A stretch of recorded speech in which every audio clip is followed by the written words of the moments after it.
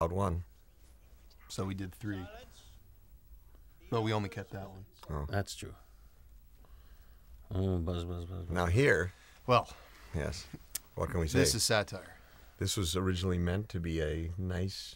Well, Milo, yeah, uh, I don't know if you gag, remember yes. uh, doing the wardrobe approval on this was one of the happiest days of my life. I uh, this was a lot of hard work. I know it got a lot of our attention. But this was originally the same scene, but just peeing.